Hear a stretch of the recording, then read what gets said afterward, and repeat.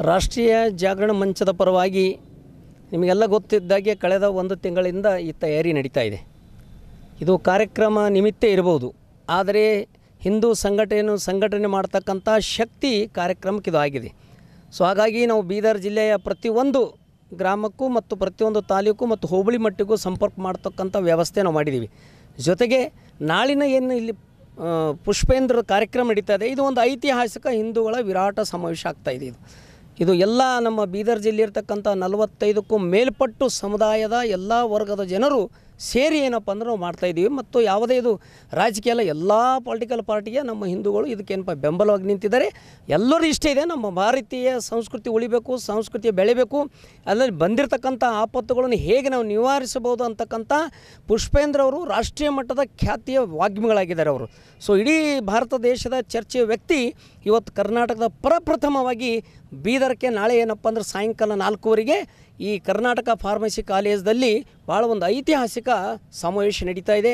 ಅನೇಕ ಮಠಾಧೀಶರು ಇರ್ಬೋದು, ಗಣ್ಯ ವ್ಯಕ್ತಿಗಳು ಇರ್ಬೋದು, ಸಣ್ಣ ಸಣ್ಣ ವ್ಯಾಪಾರಸ್ಥರು, ರೈತರು ಅಲ್ಲದೆ ನಾವು ಸದ್ಯಕ್ಕೆ ನಾವೇನಪ್ಪ ಹದಿನೈದು ಸಾವಿರ ಜನರಿಗೆ ಕೂತ್ಕೊಳ್ಳೋಂಥ ವ್ಯವಸ್ಥೆ ಮಾಡಿದ್ದೀವಿ. ಜೊತೆಗೆ ಹೆಚ್ಚಿನ ಸಂಖ್ಯೆ ಬಂದರೂ ಆರಾಮಾಗಿ ಏನಪ್ಪ ಅಂದ್ರೆ ನಿಲ್ಕೊಳ್ಳೋಂಥ ಸುಮಾರು ಐದಾರು ಸಾವಿರ ಜನ ನಿಂತ್ಕೊಂಡು ಸಹ ನೋಡೋಕ್ಕೆ ವೀಕ್ಷಣೆ ಮಾಡೋಕ್ಕೆ ವ್ಯವಸ್ಥೆ ಮಾಡ್ಬೋದು. ಒಟ್ಟಾರೆ ಎಂಟು ವಿಭಾಗಗಳನ್ನು ಮಾಡಿ ಎಂಟು ವಿಭಾಗಕ್ಕೆ ಐದೈದು ಕಾರ್ಯಕರ್ತರನ್ನು ಜೋಡಿಸಿ ಎಲ್ಲ ಸ್ವಚ್ಛತೆ ಇರ್ಬೋದು, ಆಸನ ವ್ಯವಸ್ಥೆ ಇರ್ಬೋದು, ಅತಿಥಿ ಅನುಚರಣೆ ಇರ್ಬೋದು, ಪ್ರಚಾರಕ್ಕೆ ಸಂಬಂಧಪಟ್ಟಂತೆ ಇರ್ಬೋದು, ಎಲ್ಲ ರೀತಿಯ ವ್ಯವಸ್ಥೆ ಮಾಡಿ ನಾಳೆ ರವಿವಾರ ಸಾಯಂಕಾಲ ನಾಲ್ಕುವರೆಗೆ ಇದೊಂದು ಐತಿಹಾಸಿಕ ಸಮಾವೇಶ ನಡೀತಾ ಇದೆ. ಮೂಲತಃ ಎಲ್ಲಿದವ್ರು ಸರ್ ಪುಷ್ಪೇಂದ್ರ ಅವರು? ಪುಷ್ಪೇಂದ್ರರು ಅಲಿಗಢ ಯೂನಿವರ್ಸಿಟಿ ಮುಸ್ಲಿಂ ಅಲಿಗಢ ಯೂನಿವರ್ಸಿಟಿಯ ಉತ್ತರ ಪ್ರದೇಶದವರು. ಯಾವ ವಿಷಯದ ಮೇಲೆ ಅವರು ಜಾಸ್ತಿ ಅವರು ಭಾರತೀಯತೆ ಭಾರತೀಯತೆ ಭಾರತೀಯ ಸಂಸ್ಕೃತಿ ರಾಷ್ಟ್ರೀಯವಾದದ ಬಗ್ಗೆನೇ ನಮ್ಮ ಸ ದೇಶಕ್ಕೆ ಬಂದಿರತಕ್ಕಂಥ ಸಮಸ್ಯೆಗಳು ಅದರ ನಿವಾರಣೆಗಳು ವಿಶೇಷವಾಗಿ. ಯುವಕರಿಗೆ ಏನಾದರೂ ಕರೆ ಕೊಟ್ಟಿದ್ದಾರೆ ಸರ್? ಓ, ಯುವಕರು ಹೆಚ್ಚಿನ ಸಂಖ್ಯೆಯಲ್ಲಿ ನಾಳೆ ಕಾರ್ಯಕ್ರಮ ಯುವಕರೇ ಬರ್ತಾ ಇದ್ದಾರೆ. ನಮಸ್ಕಾರ. ನಾನು ಸೋಮಶೇಖರ್ ಪಟೇಲ್ ಗಾದಗಿ. ಈ ಮೂಲಕ ತಮ್ಮ ಎಲ್ಲರಿಗೆ ತಿಳಿಸೋದೇನೆಂದರೆ, ಈಗ ನಾಳೆ ಕುಲ್ ಪುಷ್ಪೇಂದ್ರ ಅವರು ನಮ್ಮ ಬೀದರ್ಗೆ ಆಗಮಿಸ್ತಿದ್ದಾರೆ. ಮೊಟ್ಟ ಮೊದಲು ಕರ್ನಾಟಕ ಆಗಮಿಸ್ತಿದ್ದಾರೆ. ಇಲ್ಲಿ ಕರ್ನಾಟಕ ಫಾರ್ಮಸಿ ಕಾಲೇಜಲ್ಲಿ ಸುಮಾರು ಹದಿನೈದು ಜನ ಸೇರಿಕೊಳ್ಳೊಂದು ಚ ಕೂಡೋ ವ್ಯವಸ್ಥೆ ನಾವು ಮಾಡೀವಿ.